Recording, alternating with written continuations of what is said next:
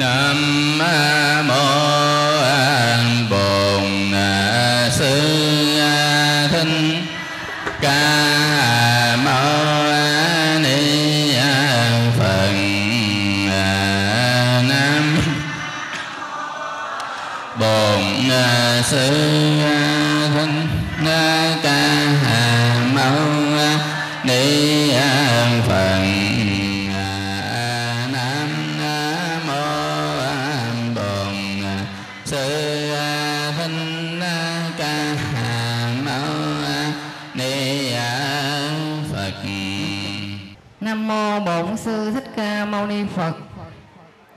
kính ngưỡng bái bạch trên thượng tọa giảng sư.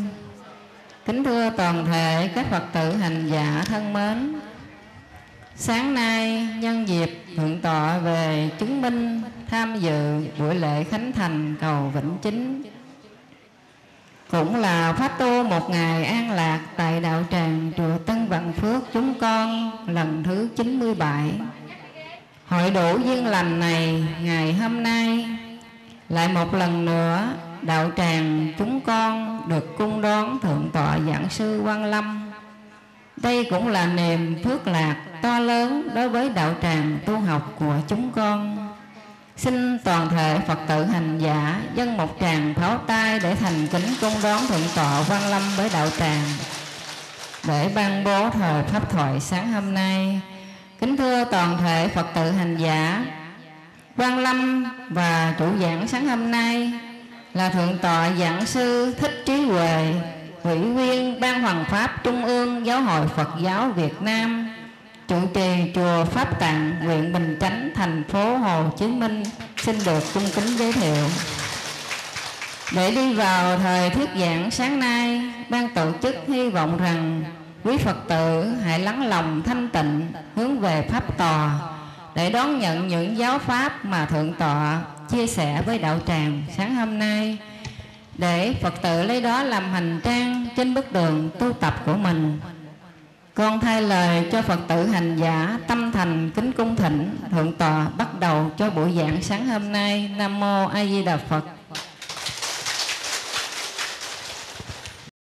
Nam mô Bổn sư Thích Ca Mâu Ni Phật. Ngưỡng bái bạch chư liệt vị tổ sư đông đồ Việt Nam. Ngưỡng mấy bạch chư liệt vị tổ sư khai sơn Tàu tự chùa Tân Vạn Phước, chợ Lách, Bến Tre.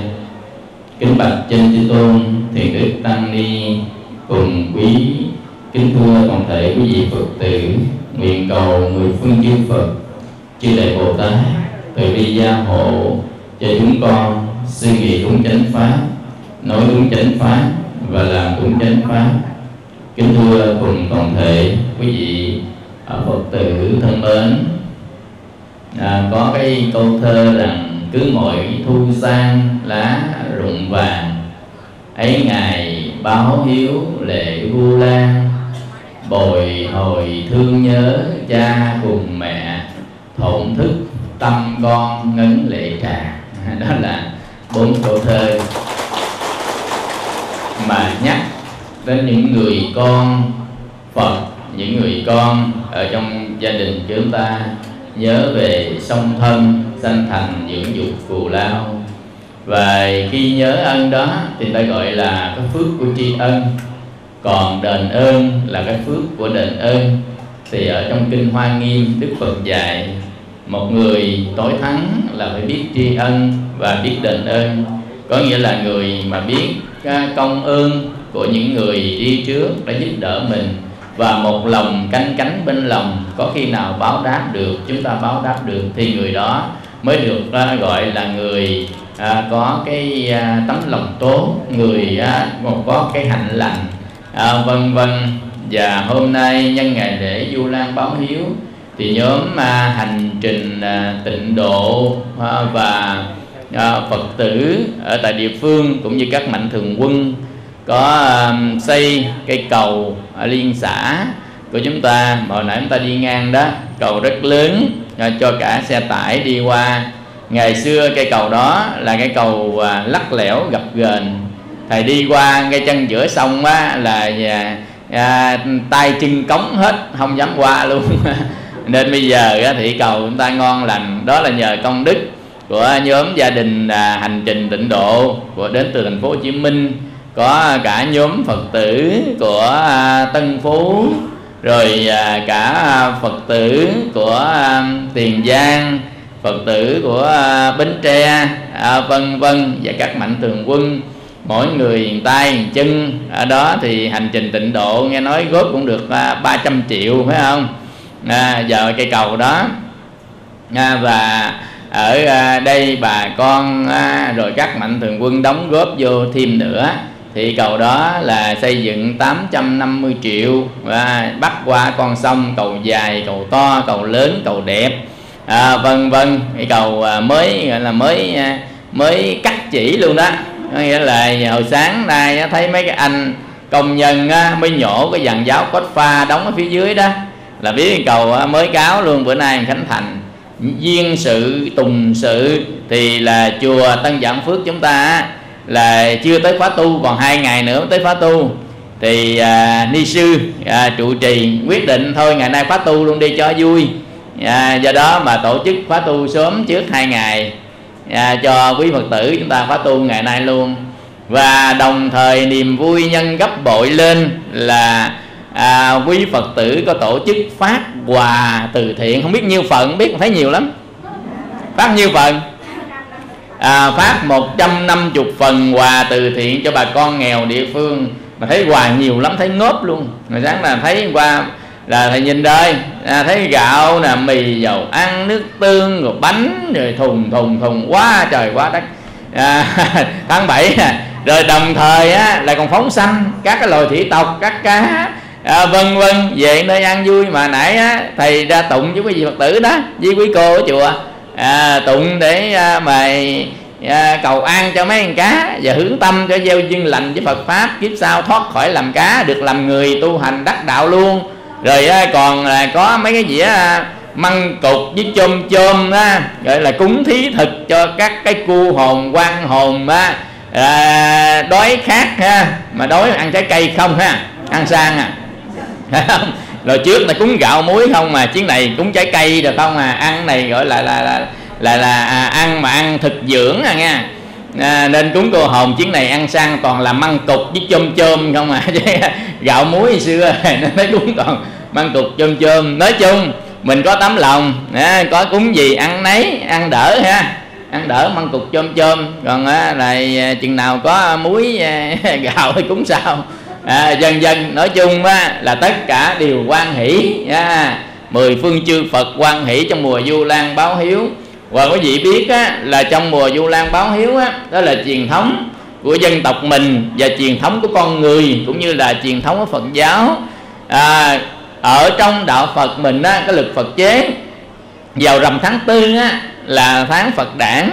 Có nghĩa là ngày 15 tháng 4 năm 624 trước công nguyên là thái tử bồ tát sĩ đạt ta đã đản sanh ở tại vườn Lumpini và ngài sống ở thành Ca Tỳ La Vệ là đất nước ha, à, Kavalapattu tức là thành Ca Tỳ La Vệ và vào ngày rằm tháng tư đó cũng là vào bắt đầu cái mùa hè mà mùa hè tại Ấn Độ á, đó thì nó là cái mùa mưa. À, nên á các cái vị mà tu sĩ ngày xưa đó không có ở nhà đâu. Các vị không có nhà mới gọi là xuất gia xuất gia là rời khỏi nhà. Nên các ngài không có nhà các ngài ngủ dưới gốc cây lấy trời đất vũ trụ bao la làm nhà thôi. À, nên á, hàng ngày phải đi khất thực ở trên đường. Nhưng vào mùa mưa á, ngủ gốc cây mưa ướt hay sao? Cái đó cái thứ nhất. Cái thứ hai nữa vào mưa các loại côn trùng á nó ướt đó nó mới bò lên. Thì quý thầy mới đi dẫm trên côn trùng nó chết. Do đó mà vì lòng từ bi của nhà phật không đỡ sát sanh hại vật dầu cho các loài nhỏ nhất. Nên đức phật đã chế ra là truyền thống an cư kiết hạ trong vòng 3 tháng à, gọi là 3 tháng an cư. À, thì cái ngày đầu tiên à, ngày đầu tiên á, đi à, vào á, đối thú an cư đó thì là ngày rằm tháng tư và 3 tháng cho đến rằm tháng 7 mà rằm tháng 7 nó trùng với cái đại lễ rồi lễ du lan báo hiếu và đồng thời rằm tháng 7 người ta cũng tổ chức cái lễ tự tứ ra hạ. Tự tứ là gì? À, lễ tự tứ có nghĩa là lễ mà các chư tăng nhập hạ vòng 3 tháng rồi đi ra ra hạ và về nơi trụ xứ của mình. Đó. do đó mà ngài mục kiền liên á ngài muốn cứu mẹ của ngài khi sống không có chịu tu và chết bị đọa làm loài ngạ quỷ. Do đó mà ngài mục kiền liên dầu cho ngài có thần thông thần lực nhưng không thể cứu mẹ của ngài. Tại vì đọa đây không phải là ai bắt. Nếu người ta bắt đọa thì mình cứu được còn đằng này tự mình đọa à. Có nghĩa là nghiệp của mình nó sẽ dẫn cái thần thức có nghĩa là à, dẫn thức ấm mình đi đọa vào trong cái cảnh giới mà cái cảm thọ của mình đã thấy đó là rất đau khổ. Ở cảnh thế gian này là mình có hai cái loại cảm thọ lạc và khổ. Còn cái thọ trung tính là không lạc không khổ mình không tính thì cái nghiệp của con người sẽ dẫn cho mình ta đến hai cảm thọ. Cảm thọ lạc và cảm thọ khổ. Nhưng cái nghiệp của địa ngục ngã quỷ súc sanh chỉ có khổ dai dai khổ dài dài thôi chứ không có lạc gì hết trơn á. Đâu quý vị nào không tin mai mốt đọa địa ngục thử coi. Thảy chảo dầu nấu tối ngày à. À, mới thấy không thảy chảo dầu nói phùng phừng phừng phừng tối ngày á. Tối ngày điều hình phạt. À, rồi châu cài lưỡi lê địa ngục bùng phân địa phòng ngục cắt lưỡi nha. Ai nói dốc nói láo nha ha. Đi lừa đảo người ta đó. Mượn tiền ngày mai trả mà tới hai chục cái ngày mai chưa thấy đâu nữa đó. Bắt đầu xuống dưới nha. Hoặc là lừa cha dối mẹ nghe thương nhau cởi áo cho nhau về nhà mẹ hỏi qua cầu gió bay rồi ha. Bắt đầu nói dốc mẹ nó láo. Rồi chết xuống dưới ta lấy cụ móc ta móc cái lưỡi kéo ra cắt cái cụp một cái đó gọi là địa ngục cắt lưỡi. Không? Do nó dốc nó láo. À, nó cười á hồi nhỏ nhỏ thầy coi cái uh, cuốn gọi là địa ngục du ký. Trong đó có cái địa ngục gọi là địa ngục bổ túc kinh sở. Mình là chà chà địa ngục gì địa ngục bổ túc kinh sở ta? Hỏi làm sao mà có địa ngục bổ túc kinh sở? Nó là mấy người mà đi tụng kinh mà tụng kinh đám mướn á. À, quý vị ví dụ như cái đám này á, là bao à, 3 triệu mà là đám ma lo từ a tới z từ liệm cho đi đi chôn phải không? Nhưng mà ông lên tụng kinh làm biến tụng tụng nhận lớp không? Ông ma ha bát nhã ba la mật đa tâm kinh, tự quy y phật, tự quy y pháp tự quy y tăng. Ông làm biến tụng. Nhận hết lớp, nhận hết lớp xuống dưới đọa địa ngục, bắt bổ túc kinh, bổ túc cung kinh á. Là ông phải chép lại cái kinh nào mà ông bỏ ông dưới, chép lại chép lại trăm ngàn bàn, ngàn bản, chép năm năm, mười năm, hai chục năm, chép hoài vậy. Mà ngặt con cái chép kinh ở trong bóng tối không có đèn. Đó bắt đầu nó nhướng nhướng mà ngồi nó chép ha chép 100 năm 200 năm 300 năm ngồi chép đó. Nên ai mốt ai mai ai mai mốt mà có tụng kinh nhảy nhảy hoặc là niệm phật nhảy nhảy đó, cũng gán đắp vô cho nó đủ nha với lên á người ta niệm phật ta nam mô a di đà phật. Ta đủ gì đúng không? Còn mình đây mô phật mô phật mô phật mô phật rồi ha. Ta nam mô a di đà phật. Sáu chữ mình đó làm biến tụng sợ nó rác cổ. Nên mô phật hoặc nín thinh rồi để cho người ta tụng thôi nha. Là coi chừng bị bổ túc kinh sở à. Vô trong đó. Rồi á quý vị à, ai á? Mà à, hay chửi hay mắng người ta à, rồi ai hay đánh đập người ta ai đánh đập người ta thì bị quỷ sứ nó sọt nó, nó đánh đập lại thì đó ở trong địa ngục du ký nó nói vậy chứ mình cũng chưa thấy. Dạ, vân vân. Nhưng mà mình nghe cũng có lý cũng có lý. Cái chỗ là à, mình phạm tội bị trả tội chuyện đó là chuyện bình thường. Nhưng mà cái cảnh giới mà để sanh ra thì Đức Phật nói trong kinh Trung Bộ của Nam Truyền và nói ở trong kinh đó một liên sám pháp kinh Du Lan Bồn rồi á, là à, kinh địa tạng vân vân đều có địa ngục. Trong sáu cái cảnh giới địa ngục ngạ quỷ súc sanh atula cõi người và cõi trời. Tất cả các cảnh giới đều là sanh ra để sống chứ không có nghĩa là sanh ra để hình phạt. Nhưng cái hoàn cảnh nơi đó hình phạt mình chứ không phải người ta bắt nhốt vào ngục hình phạt như tại thế gian. Ví dụ nha ở thế gian này mình sinh ra ở giữa lộ gì không có nhà có nghĩa là mặt trời nó phạt luôn luôn lúc nào cũng phải văng nắng văng sương. Nghĩa là nó hành phạt liên tục á là vậy đó địa ngục thì cũng giống như vậy đó. Sanh ra cảnh giới mà nó khắc nghiệt như vậy đó liên tục liên tục nó tấn công vô mình. À, vân vân mình sanh ra cảnh giới đó chừng nào trả hết cái nghiệp của mình thì thôi. Chứ không phải có một người mà bắt mình phải trả theo cái kiểu mà mình nghĩ ai đâu làm mội mình vậy. Tự nhiên mình làm ác ở đó, đó, đó là tối nhiên hành phạt mình hành phạt mình không ăn lương à, à vân vân không có. Mà chính cái nghiệp mình nó hành phạt mình. Nên mỗi người đều có một cái địa ngục khác nhau và mọi người đều có cái nghiệp khác nhau để đi trong cái cảnh giới sau khi chết. Cảnh giới sau khi chết á khi chúng ta chết đi rồi còn lại gì? Chỉ còn lại có hai loại thôi. Mình khi sống á nhiều loại lắm. Mình á khi sống á thứ nhất à, là gì? Thứ nhất là nghiệp nên mình còn sống nè. À, mình có nghiệp. Còn sống á là mình có sáu thức nhãn dĩ tỷ thiệt thân dĩ thức. Mình còn sống á có sắc ra có thọ có tưởng có hành có thức tức là mình có ngũ uẩn. Nhưng sau khi chết đi mình sẽ tan rã hết. À, bây giờ mình sống á mình còn biết á biết đây màu xanh màu trắng màu vàng màu tím bằng mắt bằng tay mũi lưỡi thân dĩ. Khi chết đi rồi sáu căn mình tan rã. Nên chúng ta còn biết màu mùi gì kiểu này nữa mà nó trở về thức ấm. Có nghĩa là cái biết của thức chứ không phải biết của căn.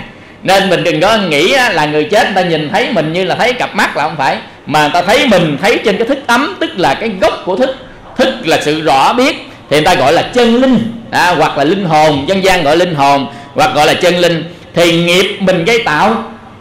Con người mình gây tạo bởi ba cái nơi gọi là hành nghiệp. Hành đó là cử động là động loạn đó, đó là gọi là hành. Hành nghiệp ba nơi là thân là khẩu ý.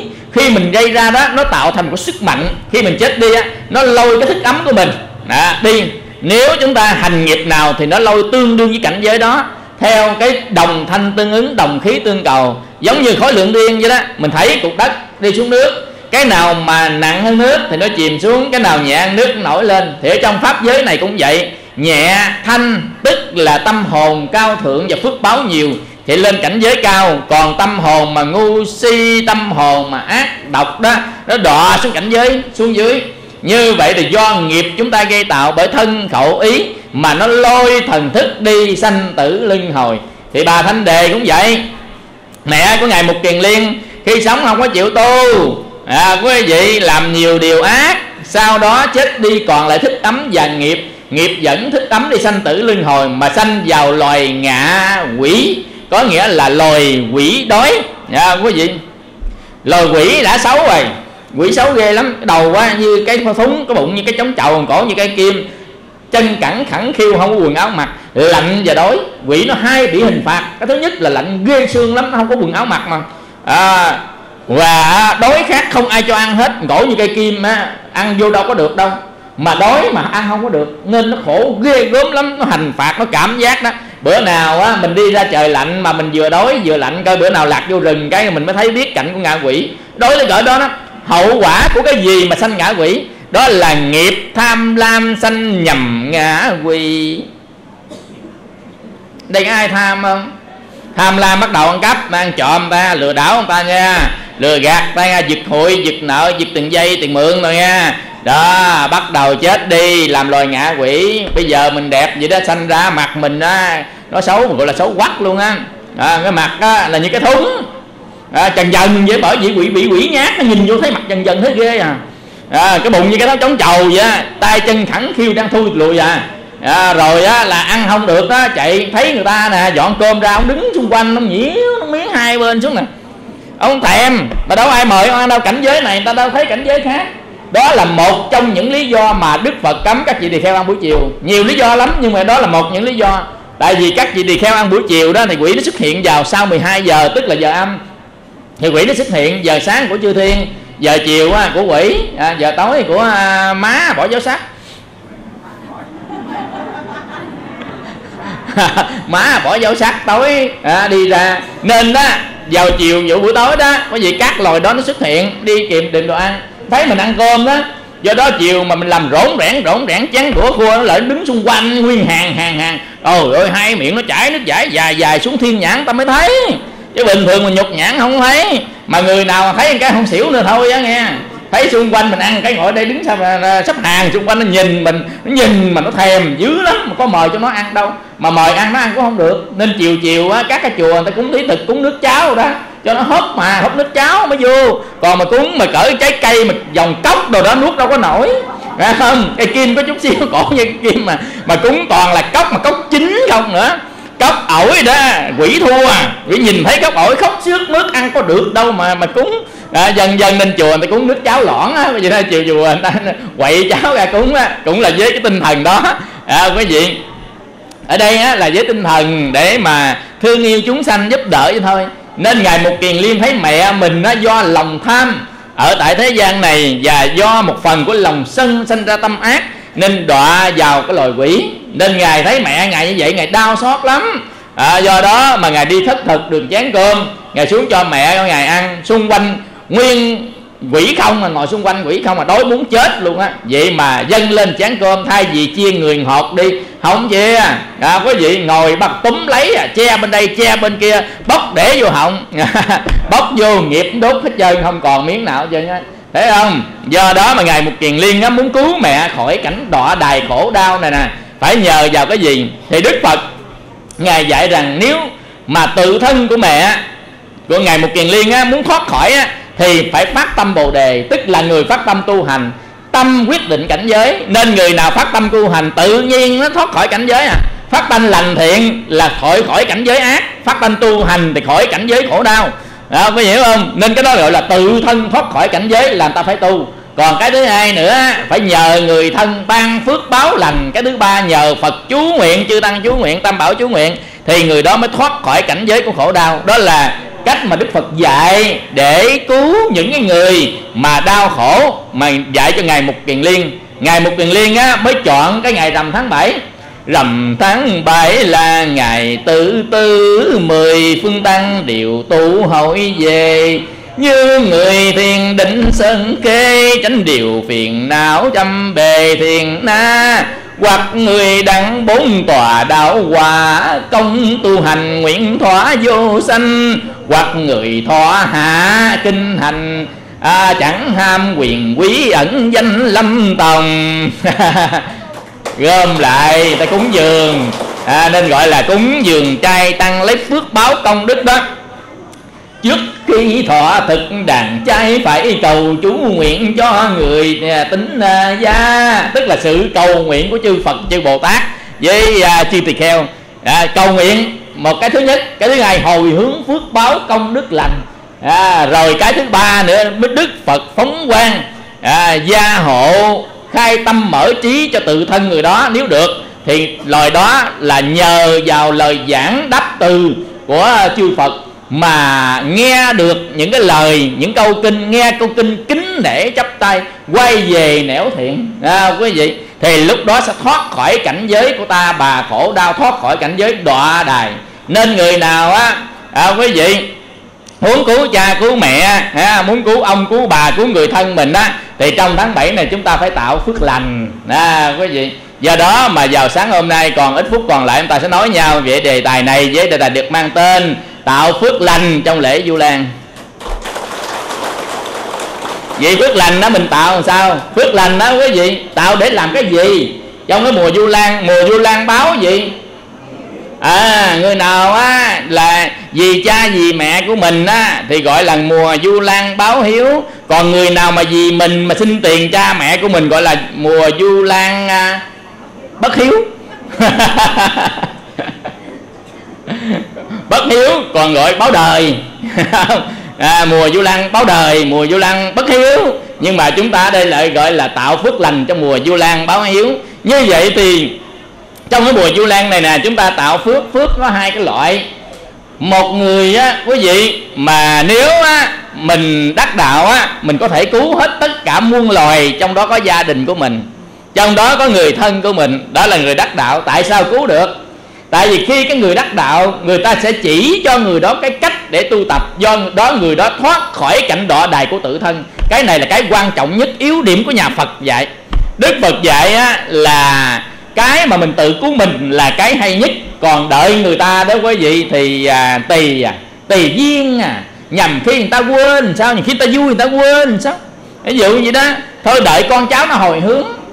Trời ơi đợi con cháu hồi hướng. Quý vị có nghe ngài năng đà mà em của phật không?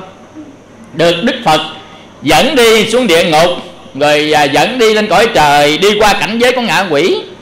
Thấy hai cái tốp quỷ. Một cái tốp quỷ á, thì à, ca hát vui chơi nhảy múa. Còn một tốp vĩ á, thì ngồi cú sụ à, buồn thảm.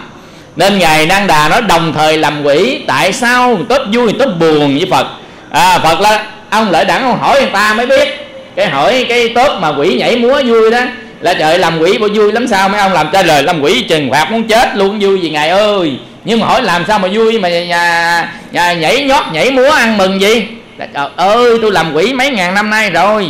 Nhưng mà con cháu tôi trên thế gian là mùa du lan mùa phật đản nè. Hàng năm nè bỏ ống heo nè cúng dường bố thí tụng kinh niệm phật hồi hướng cho tôi. Hồi hướng bữa ít bữa ít bữa ít. Bữa nay tôi phước báo sâu dày gần thoát khỏi ngã quỷ rồi tranh lên cõi trời.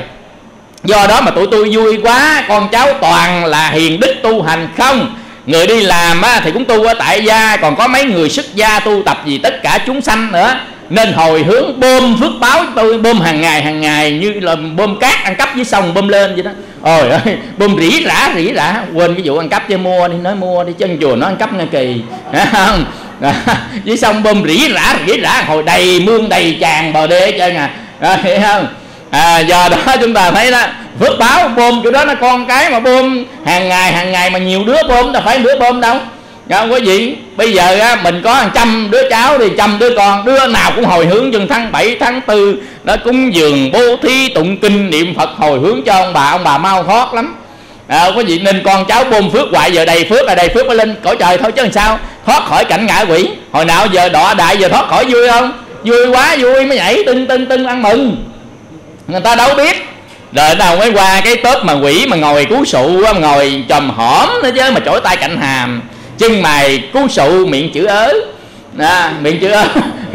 Là là sụ cái râu xuống đó hả gì hỏi làm sao? Mà người ta nhảy lưng tưng lưng tưng người ta vui dữ vậy. Còn mấy ông mà buồn phiền à, hờn giận dữ vậy hỏi sao là tụi tôi hết mong rồi thầy ơi. Hỏi sao hết mong?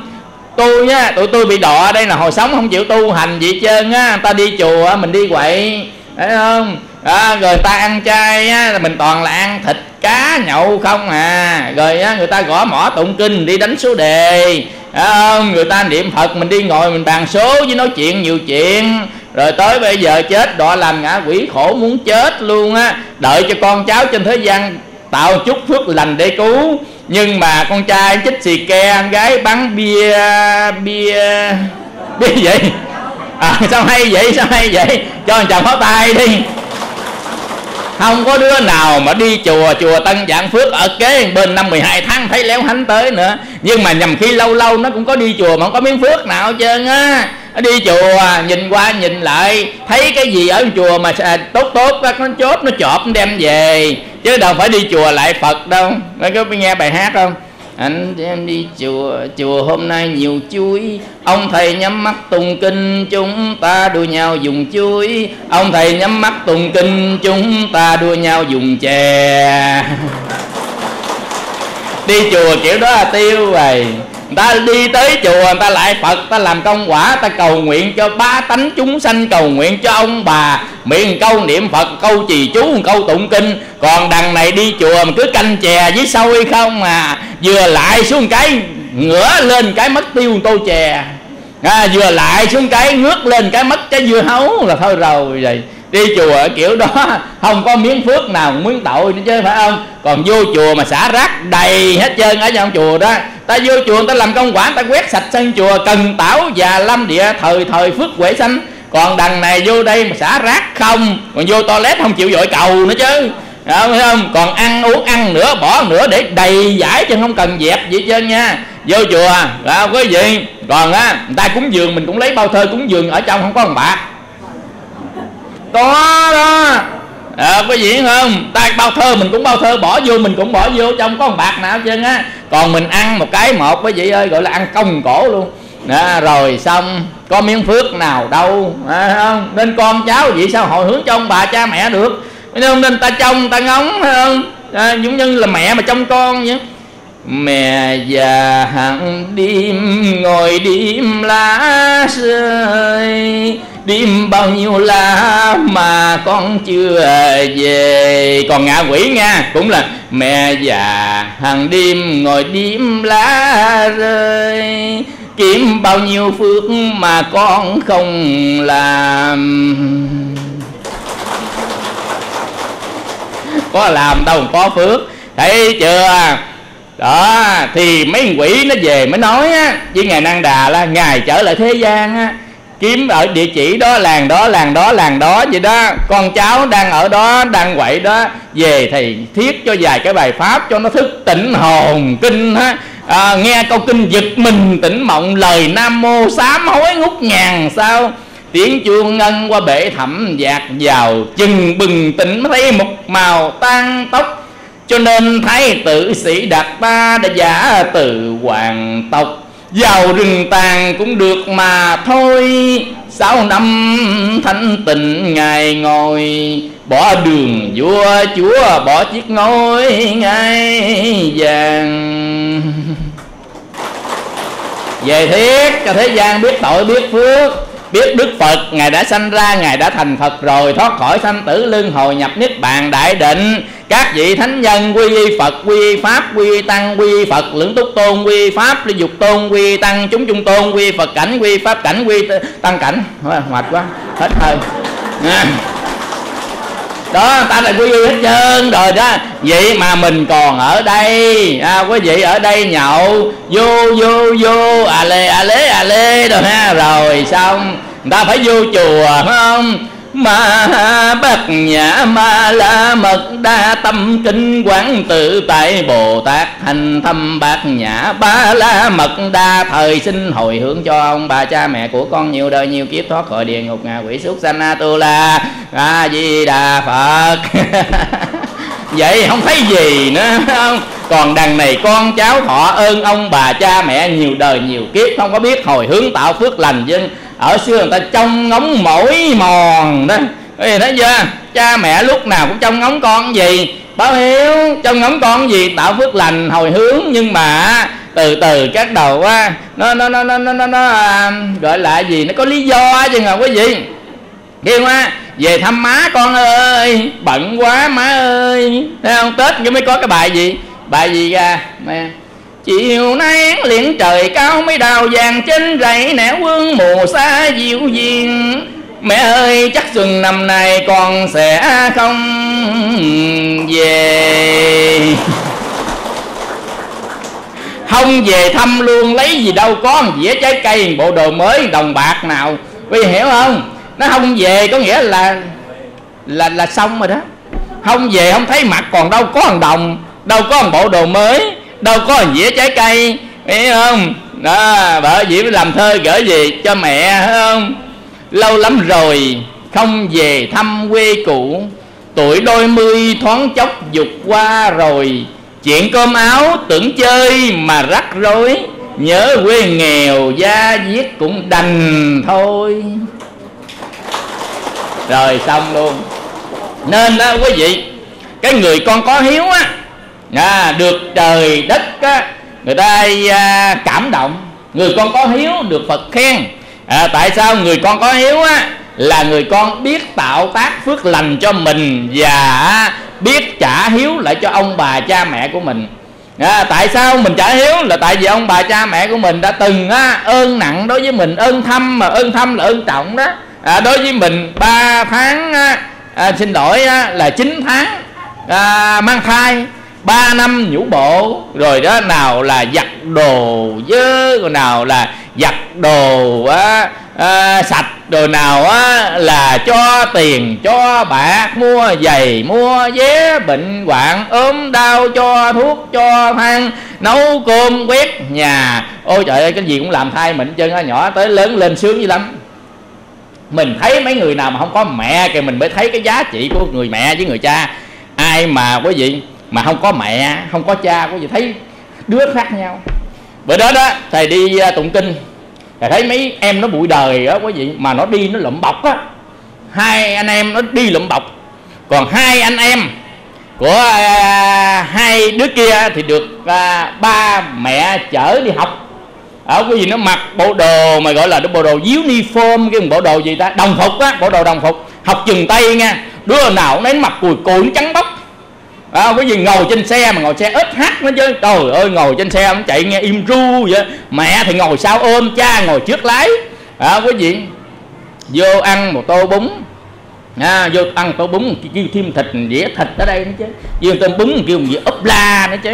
Còn hai đứa kia quý vị mặt mày nó lem luốt cái chân còi cọc tóc ông đỏ ôm chân nắng trái á mặc đồ gách dưới bụi bặm không mà mà dơ hài không biết 8 tháng có giặt chưa nữa. Còn mang đôi dép rồi thôi ôi ông ông nhìn ổng một cái một mà. Mình thấy hai ông đó không có mẹ không có ba đó. Đó thấy không? Còn hai ông này có mẹ có ba mình thấy hai cái bức tranh mình thấy là biết liền. Nếu mình không có cha không có mẹ cũng y hai cái ông mà lộn bọc đó đó. Y chang vậy đó quý thấy không? À, nên đó, thầy hồi nhỏ thầy đọc cái bài thơ mà mình nghe cảm động. Cái cô này lớn mà cổ mới lớn lên đó à, 11, 12, 3 tuổi chẳng biết á. Mẹ chết. Đó quý vị cổ sống một cuộc đời rất là đau khổ. Nên làm bài thơ á khi tôi vừa mới lớn mẹ tôi đã qua đời. Lần đầu tiên tôi hiểu thân phận trẻ mồ côi. Quanh tôi ai cũng khóc im lặng tôi sầu thôi. Để dòng nước mắt chảy là bớt khổ đi rồi. Hoàng hôn phủ trên mộ chung chùa nhẹ nhẹ rơi, tôi thấy tôi mất mẹ như mất cả bầu trời. Đó, bây giờ á, đức phật dạy, thấy không? Mình nhìn cái bức tranh đó biết ơn mẹ mình sao à? Không? Quý vị mình bây giờ từ trên xuống dưới mình thấy có thẹo có giúp gì không? Thấy chưa? Rồi chưa nào là bằng này, cấp nọ, nào là nhà cửa bây giờ mình có cái nhà phải không? Bây giờ mình có cái thân này giờ mình có trình độ phải không? Ra ở bên ngoài á xỉa lính lính á, dạ dạ dạ thưa thưa ha. Tiền móc ra xài phà phà phà phà quý vị ở đâu ra? Mình tính là mình kiếm tính đâu mình ăn mình lớn lên tính đâu mình mua nhà. Nhưng mà không có cha không có mẹ mình mình đi móc bọc để đó mua nổi nhà không? Rồi học nổi bằng cấp không? Bằng đại học này nào kia thạc sĩ tiến sĩ không? À, quý vị có không? Đó. Nhưng mà mình nói tự mình làm không à. Nên bữa đó nó có một cái à, chuyện này nè mà thầy kể 8 lần rồi kể lần này lần thứ 9 nè. À quý vị. Bức xúc quá. Nhà quý vị có à, ba em trai chị gái hai chồng. Ông chồng chết để lại chục công đất. À, quý vị để lên chục công đất. Bà mẹ mới chia cho ba thằng em trai thằng ba công đố quý vị chứ chục công chia ba đứa em trai, đứa ba công còn lại chị gái mấy công? Bây giờ sao làm toán hay ta? Vậy toán này hay nha. Bài toán đó bài toán lớp mẫu giáo à. Lên sắp lên cấp 1 nó à, sắp lên lớp 1 đó, chị còn lại công, không có gì, còn lại công, tức mẹ. Tức trở nên thù. Bữa đó bà mẹ bệnh bệnh ung thư trong bệnh viện đó quý vị bắt đầu là thầy vô à, thăm bệnh, không phải thăm thăm khác bên, không phải thăm đó nhưng mà cổ á, mới kể kể lại. À, thì cái cô gái con cô gái không ai chăm sóc hết mà trai chăm sóc mẹ đâu bằng nữ. À, vì thay đồ thay đạt tắm rửa đồ chăm nom đồ thì cái người nữ lại khác. À, bây giờ bao nhiêu chuyện vậy mà mấy đứa trai làm không à? Gái không chịu vô. Thì đi ra gặp gái ở ngoài trước à, à chạy xe tạ tạ đi gom tiền à, gom tiền góp. Là trời trời má con ở trên bệnh muốn chết thì sao không cho thăm? Thầy ơi thầy má con chết con còn không đi nha đừng có nói mà bệnh. Là sao kỳ con nói kỳ con nói câu tổn phước nói câu coi chừng bị trời nhá lửa. À, má con chết con còn không đi nữa chứ đừng có nói mà à, là bệnh. Ai nhà đâu? Hỏi sao con? Bắt đầu đứng khóc. Trời thầy có thiệt đó thầy? Con ẩm con em con á ba con chết sớm con ẩm. Em con á nó chai nách luôn nè dở nách lên đó thôi thôi thôi giữa đường giữa xá đừng dở lên con. Nói vậy biết rồi à, giữa đường giữa xá lên ta chụp hình ta lên facebook à. À, không có gì? Dở lên để chứng minh. Trời ơi dở dở cái nách lên mà ẩm mấy đứa em trai nách đó vậy mà ông già để lại chục công đất cho ba đứa em người ba con con có một công một nói thiệt á má con chết còn không đi nó đừng có nói. Là bây giờ à, con có nhà ở không? Là con được ba cái nhà mặt tiền. Hỏi con làm gì? Con làm á, ngành tài chính ngân hàng học đại học ra mà đó quý vị mua được ba cái nhà là trời ơi sao má con cho con ba nhà hả? Là không một tay con làm á thầy chứ nữa má con đâu một tay con làm đó. Chứ má con không cho con cắt nữa cho ba thằng em không à. Cho con công đất con là con ghét con bởi để đó con không làm gì hết trơn á. Ê, thấy chưa? Hai cái em mà đi móc bọc hồi nãy đó mua nổi ba căn nhà mặt tiền không? À như vậy ba căn nhà mặt tiền á con nhỏ con gái nó nói nó nó tự mua đó nói thiệt á quý vị nhỏ mẹ bao xô chân cho nó đi học. Nó đi học tới lớp 12 nó học vô đại học học vô học nó có cái bằng từ có cái bằng đó đó. Nó mới có tính có toán cái bằng đó nó mới đi làm nó mới mót tiền nó mua được cái nhà mà nó tính là cái nhà đó nó mua. À, công má nó không có gì đây chứ má nó chết nó không thăm nữa tại vì chia nó còn công đất à, à quý vị người ta á thấy công sanh thành dưỡng dục của mẹ mình đáng giá của ba công đất hả quý vị? Thiệt đáng giá ba công đất thôi không cho hai công lỗ có một cao hai công đất thôi quý vị mà má chết không đi thăm. À nói thiệt á quý vị. À, học nhiều mà ngu. Không nói thiệt luôn á nói trước mặt luôn nói chơi mình tu mình nói người ta ngu cũng kỳ mô phật. Vô minh. Học nhiều mà vô minh. Ba mẹ sanh mình ra nó là tình cảm thiêng liêng. Còn đất đai nhà cửa bạc vàng á, nó là của phù du ở bên ngoài thân. Nói thiệt đó quý vị ba cái nhà đó ba đứa em trai không có đứa nào được cái nhà nào kìa ở chung với má. Còn cổ được ba cái nhà mua mặt tiền cho ông ta thuê. À, vậy mà còn chưa đủ đó còn đòi ba con đất nữa kìa. À, quý vị thấy không? Tham làm quỷ giờ. Mày hiểu không? Nên đó ba mẹ nuôi nấng mình lớn lên mình học có bằng này học bằng nọ. Đó là cái tài sản vô hình. Còn đất đây là tài sản hữu hình nó có hai loại tài sản khác nhau. Mình được bằng được cấp được cái trí tuệ thông minh được cái kiến thức đó là tài sản vô hình hái ra tiền trên cái đó đó. Đi dạy thôi hái ra tiền nữa đừng có nói. À, như vậy đó không phải là tài sản hả? Mình tính tài sản là phải cho vàng cho bạc cho đất cho đây trời ơi mẹ đầu tư cho mình ra tới đại học mấy em nhỏ chưa đứa nào ra đại học nè. À, quý vị thì cái sự đầu tư ai lớn hơn đầu tư mình lớn hơn. Đầu tư cái đầu đó nó mới có ra mấy năm mà mua được ba cái nhà rồi đó. Quý vị biết đó là sự đầu tư của bà mẹ đúng chỗ rồi đó thấy chưa? Đó, đó tài sản của mẹ mình chứ của ai nữa mình tính đâu của mình. Tất cả những cái gì mình có được ngày hôm nay cũng nhờ cha nhờ mẹ mình dung chồng đầu tư cho mình bỏ vốn vô cho mình mới được ngày hôm nay. Tao không tính xa trong rộng tính cái trước mắt không thấy vàng thấy bạc không tớp không tớp. Mô phật. À, mô phật.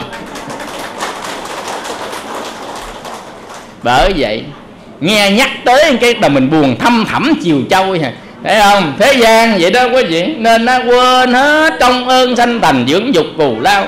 Người ta khôn á quý vị, người ta cho mẹ không hết, nó đừng nói ba công. Miễn sao mẹ vui là được. Má ơi, má má cho em con hết nữa, không con công nào chân mà má khỏe mạnh. Má vui là con chịu à. Phải không? Dầu má cho con 10 công đất đó đi nữa, nhưng mà má bệnh, má buồn, má khổ, thì con đâu có nở phải không? Miễn sao má vui, má sống khỏe đi, con không được công nào cũng được hết trơn á đêm đêm con thắp đèn trời chầu cho cha mẹ sống đời. Bên con đó mới gọi là con chứ.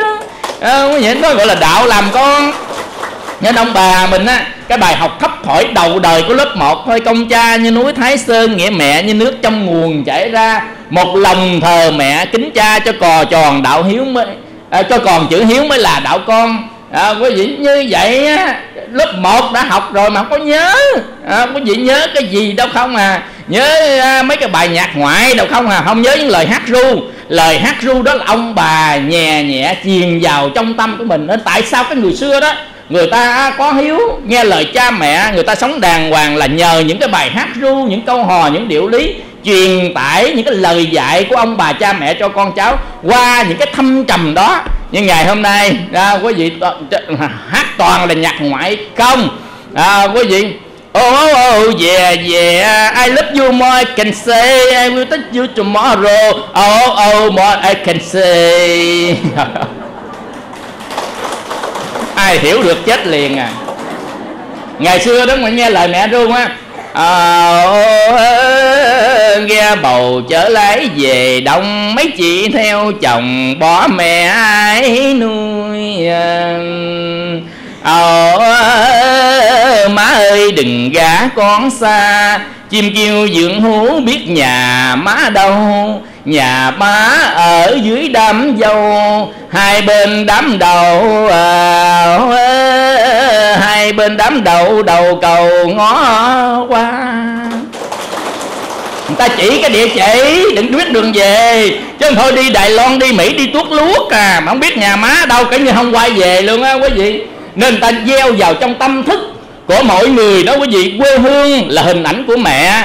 Rồi gieo vào tình yêu quê hương xứ sở xóm làng, yêu quê hương con người, yêu dáng của cha, yêu qua câu thơ của mẹ, yêu câu hò điệu lý. Nó thâm nhập vậy đó, nên tâm hồn ta nhẹ nhàng, ta thanh thản, ta lương thiện á, quý vị. Đi đâu ta cũng nhớ à, về quê nhà cho quý gì?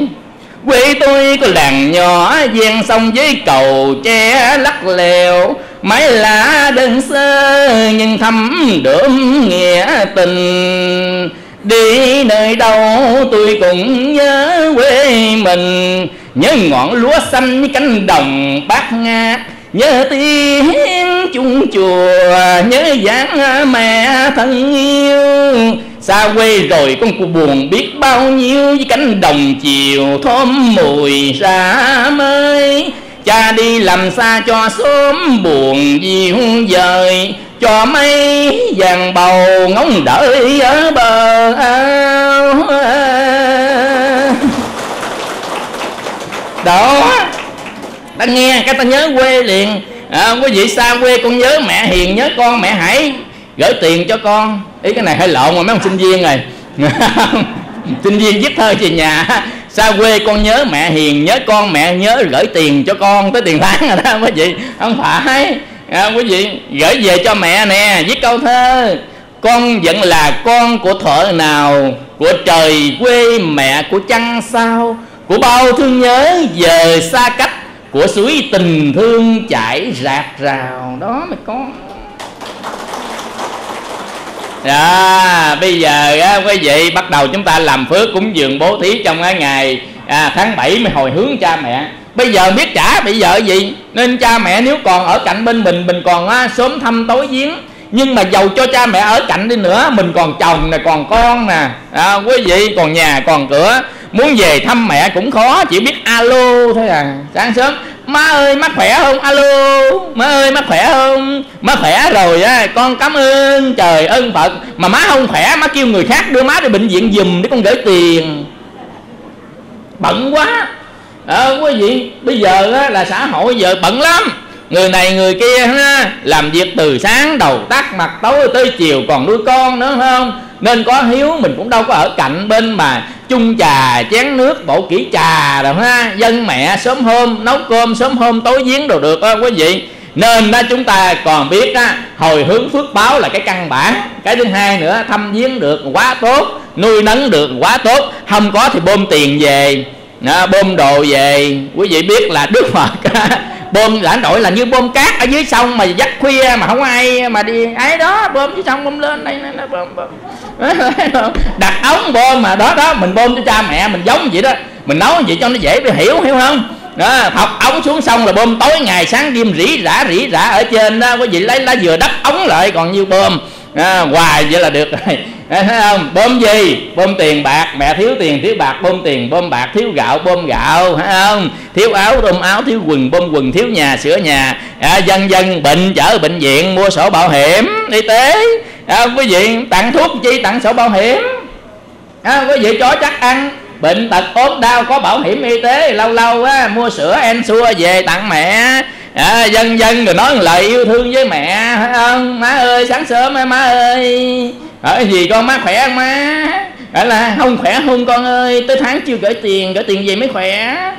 Không đó để đầu bơm tiền về liền. Cái này có nghe chứ không phải không có đâu nha. Thấy ở gần à, ở trong phố á, quý vị có cô này mỗi tháng á mấy đứa con gửi cho đứa một triệu một triệu một triệu một triệu. Tháng đó đó thì theo lẽ đầu tháng mùng 1 ta gửi mà tháng đó là ngày mùng 3 cúng cơm ở nhà nên các đứa con không gửi mùng 1 tới ngày mùng 3 nó về nó cúng gửi luôn. À, quý vị cổ tính đâu mấy đứa con quên này nằm một chỗ một không ăn không uống hai ngày. Tính đâu bệnh không mấy đứa con về. Má má mới bệnh gì? Má tao không ăn uống gì được. Chân hai ngày nay tao bệnh dữ lắm tụi bay ơi. Cái mấy đứa con là trời ơi má ơi. Bây giờ họ hai bữa nay quên gửi tiền cho má. Má đi bệnh viện chứ. Thay vì thôi đứa gửi triệu bây giờ má bệnh đứa gửi hai triệu nè má. Trời ơi vừa nghe nói cái xổm ngồi gì tụi bay ăn cơm chưa? Tụi bay ăn cơm chưa? Tao xuống nấu cơm tụi bay ăn cái cây mà tưới nước tưới nhanh thiệt chứ. Nước này nước thần à nghe. Tôi nằm vào vào hai ngày không ăn cơm với gì mà bơm người hai triệu vô cái là nước nó, cái cây nó xanh lét liền à. Bắt đầu nó nở qua liền cười đó là nở qua liền xuống nấu cơm rồi húp à, tô cháo tỉnh bơ. Bình thường không có gì chứ mới thấy không? Nên ba mẹ mình phải hiểu tâm lý. Hiểu tâm lý gì? Buồn vì cái gì thì mình giải cái nỗi buồn ở đó. Ở đây mình nói chơi cho vui thôi có nghĩa là mình hiểu cha mẹ mình buồn cái gì thì mình giải cái nỗi buồn khổ của cha mẹ. Cha mẹ thiếu thốn cái gì thì mình giúp đỡ cha mẹ. Thì đó gọi là báo hiếu đó. À, quý vị nhưng mà con ơi cái gì má cũng có hết mà má thiếu phước thiếu tu con ơi. Đó cái này mới căng nè. Má thiếu phước thì làm phước hồi hướng cho má và dẫn má đi chùa tạo phước cho tiền má làm phước. Đó quý vị cho tiền ở nhà thì không có làm đâu. Dẫn đi tới chùa cho tiền tại chỗ bắt làm. Con nhầm người đó quý vị lớn tuổi rồi đầu á, là ba ca nó xuất hiện. Quý vị biết ba ca không? Ba ca là keo kiệt kẹo kéo á. Nó xuất hiện nên không có dám cúng dường không dám cho ai vậy chân á. Đợi tới chùa mới cho dẫn má tới chùa rồi má ơi má bữa nay phóng sanh phải không? Má hùng 200 đi. Tiền đâu hùng? Tiền nè móc ra đưa cho má con cho má nha má phát tâm phóng sanh nha này phước của má à. Phải cho tại chỗ vậy mới được chứ cho ở nhà lại cho 200 lại và nhầm khi cũng có hai chục á. Năm chục nói gì hai chục? À, cho 200 kéo ra kéo vuông kẹo kéo mà kéo kéo kéo kéo. Quý biết kẹo kẹo kéo không? Nó quay quay ngoài lộ đó. Quay số 1 á, thì tấc số 2 2 tấc số 1 tấc á, cục ba lớn đây số 2 2 tấc cục ba lớn đây tới số 3 3 tấc bắt đầu cục ba lớn đây rồi nó kéo rồi nó kéo rồi mình nó còn nhỏ xíu như cái tâm răng luôn á. Mình quay số 10 cho ông kéo cái nó nhỏ xíu đây kéo dài đó không còn hột đậu phộng nào chứ đấy không đó là kẹo kéo đó mình cũng vậy nữa. Ở nhà cho 200 để đây kéo hồi còn hai chục mà. Thấy không? Nên cho tới chỗ luôn à. Má ơi cúng dường cúng nhiều phước nhiều cúng ít phước ít. Đức Phật nói ông kinh đó phước báo công đức sai biệt à, của kinh nhân quả thiện ác á, Đức Phật dạy rằng người nào á làm ba chuyện này là phước báo lớn nhất thế gian. Thứ nhất cúng dường tam bảo. Thứ hai chăm sóc bệnh nhân.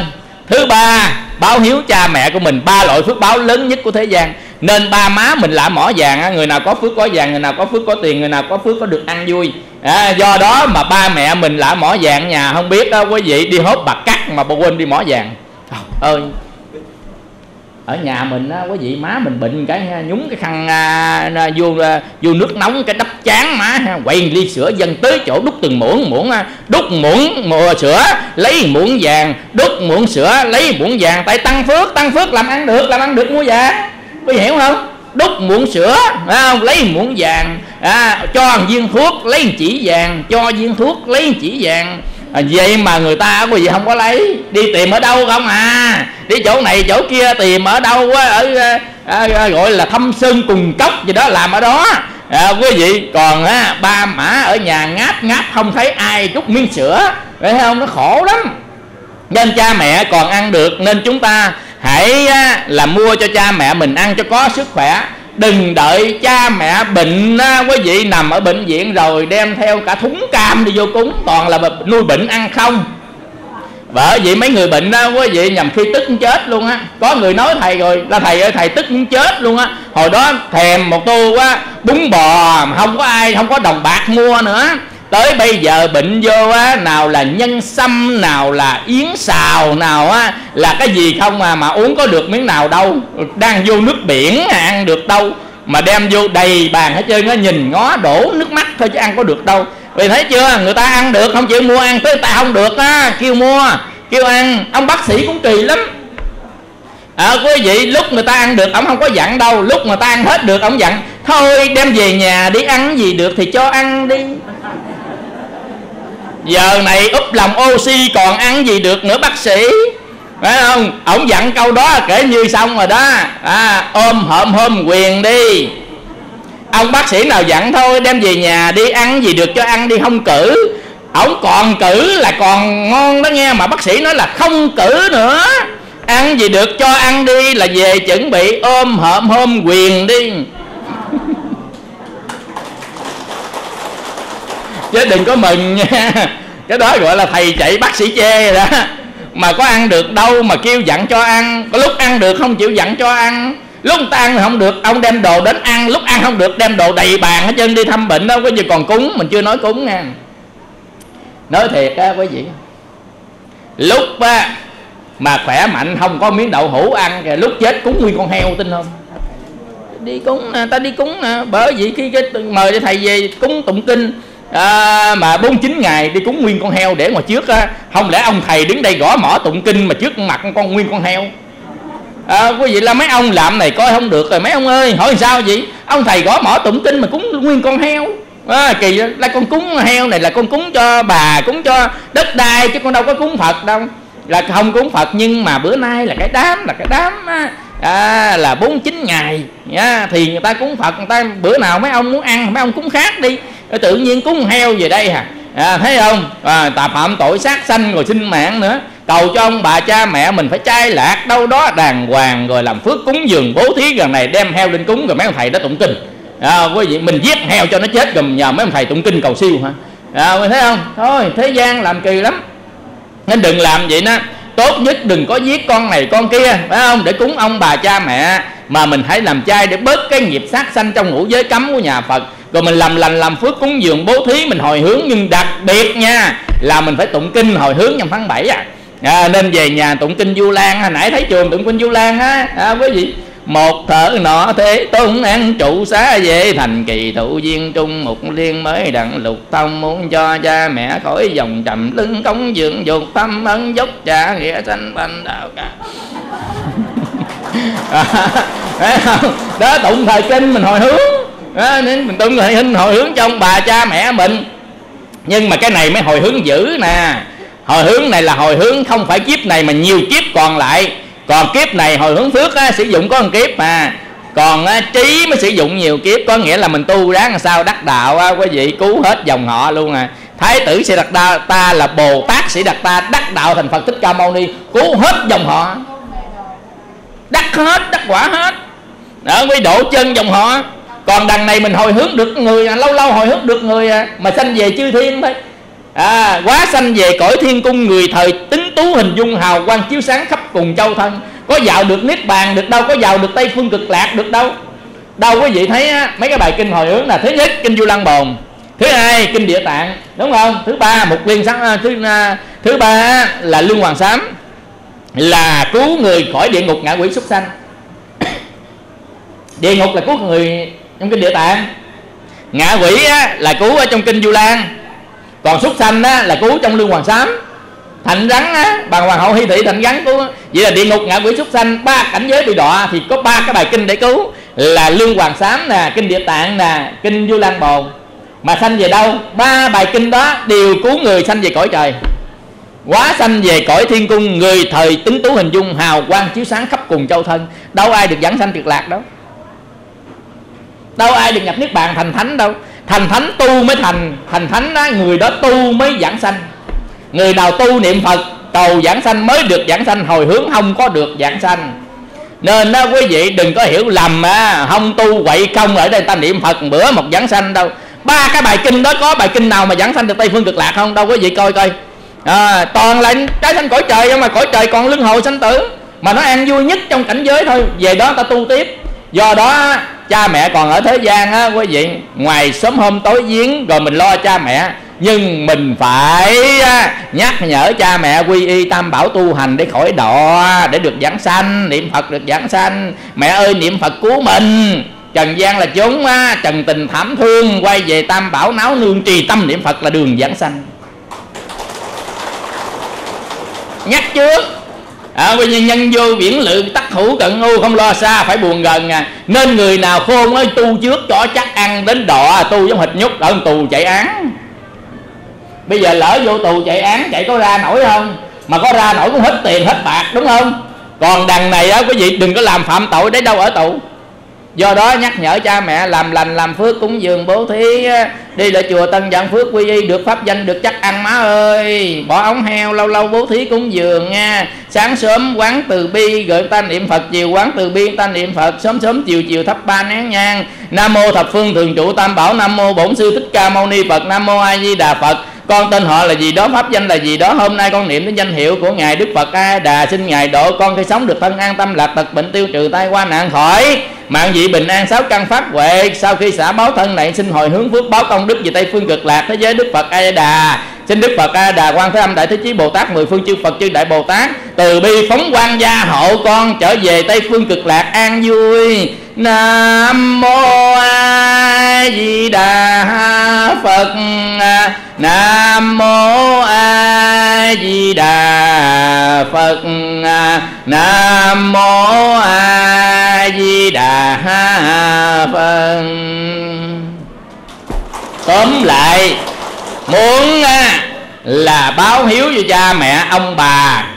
Thứ nhất vào ngày lễ vu lan báo hiếu, nếu cha mẹ mình còn sống trên thế gian này, hãy quay trở về nhà mà mà quan tâm đến cha mẹ. Xem, thứ nhất, cha mẹ có đủ món ăn, vật thực, đủ quần áo mùng mền, thuốc uống hay không? Thứ hai tâm tư nguyện vọng của cha mẹ buồn vui hờn giận cái gì mà mình giải tỏa? Thứ ba là nhắc cha mẹ tu hành ai chưa quy nhắc quy ai chưa làm phước gắn cho tiền ta làm phước. Thứ tư nhắc cha mẹ niệm phật giảng sanh. Đời á, gần đến rồi má ơi bây giờ về chiều rồi bảy tám chục tuổi rồi má ơi thấy không? Má ơi niệm phật cứu mình thấy không? Nên á, ngày đêm nghe băng giảng rồi đó cho má giác ngộ. Má ơi đời là giả trăm ngàn cảnh giả sanh bệnh già thêm ngã biệt ly. Thân người sống chẳng ra gì bước chân cõi tạm khi đi. Lúc về má nghe chưa má? Má đã nghe rồi nghe rồi niệm phật tu đi má ơi thấy không?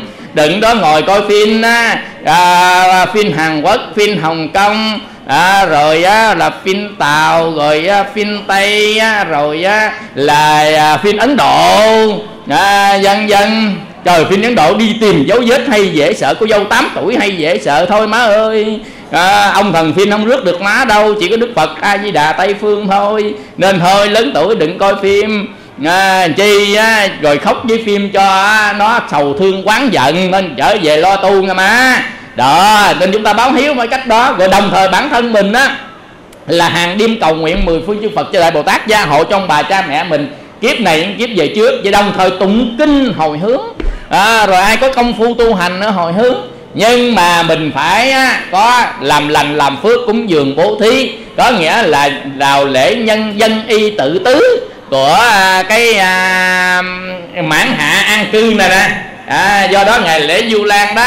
À, chúng ta đi đến chùa rồi chúng ta cúng dường chúng ta bố thí chúng ta một lòng thành tâm cầu nguyện cho cha mẹ của mình, ha. Và đồng thời phát nguyện với mười phương chư Phật, chư đại Bồ Tát rằng, con từ đây trở sau, con quy Phật, quy Pháp, quy Tăng, con giữ gìn năm giới cấm, không sát sanh, không lấy của, không cho, không tà hạnh, cắt dâm dục, không nói dối, không uống rượu. Con giữ tới trọn đời, con nguyện đem công đức tu hành của con con hồi hướng cho ông bà cha mẹ con nhiều đời, nhiều kiếp, con giàu đọt bất kỳ cảnh giới nào, cũng nhờ phước báo tu hạnh con mà giảng sanh cảnh giới an lành của mười phương chư Phật nam mô bổn sư thích ca mâu ni phật á, con nguyện á, sanh ra bất kỳ cảnh giới nào cũng được gặp chư phật chư bồ tát để con tu tập và con nguyện hồi hướng tu tập tới trong bà cha mẹ của quyền cõi con nhiều đời nhiều kiếp.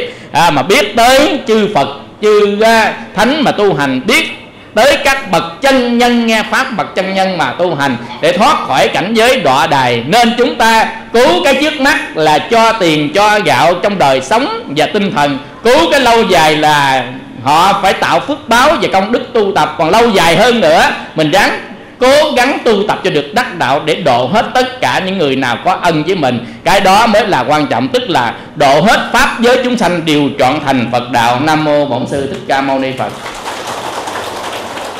Hết giờ rồi 70 phút. À, tính hồi nãy nói tính nói 45 phút mà tại vì thấy chưa rồi trời chưa thấy đói bụng rồi à, do đó mà bây giờ qua tới 70 phút rồi hết giờ. À, chúng ta sau khi hồi hướng xong à, thì quý vị nào mà lãnh quà đó chúng ta đi qua phía bên kia nha. À, quý vị nào không có lãnh quà thì đừng đi qua đông quá nên không có chỗ ngồi. Quý vị nào lãnh quà qua bên kia tập hợp thì quý thầy quý cô với cái đoàn phát quà sẽ qua bệnh đó là sắp hàng à, cả chừng mười mấy đó đó. Cái đứng chụp hình lưu niệm xong cái mình phát. À, phát quà có phiếu không? Có phiếu không à, ni sư? À, có phiếu phát dễ rồi và xin hồi hướng phước báo công đức xây cầu. Thả cá. Cúng cô hồn. À, thí thực. Công đức hộ trì tam bảo cho buổi giảng pháp hôm nay cũng như công đức là phát quà từ thiện trong du lan tháng 7 xin hồi hướng cho tất cả quý vị nào phát tâm tu cho đến tịnh tài tịnh vật.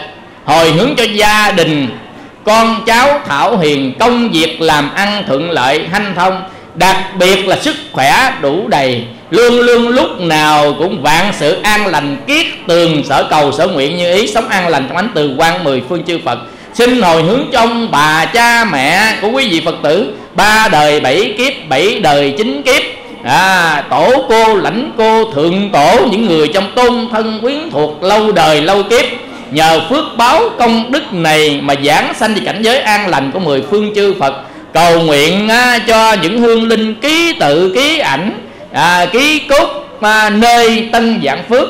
Và hương linh chiến sĩ trận dông đồng bào tử nạn hà sa ngã quỷ thập loại cô hồn. Từ thừa từ phật lực thính pháp văn kinh tốc thoát mê đồ giảng sanh tịnh độ. Và nguyện cầu cho tất cả pháp giới chúng sanh đều chọn thành Phật đạo, quý vị Phật tử luôn sống an lành trong ánh từ quan che chở của mười phương chư Phật. Nam mô Bổn sư Thích Ca Mâu Ni Phật. Nam mô Du Lan Viên Khởi Đại Hiếu Mục Kiền Liên Bồ Tát Ma Ha Tát.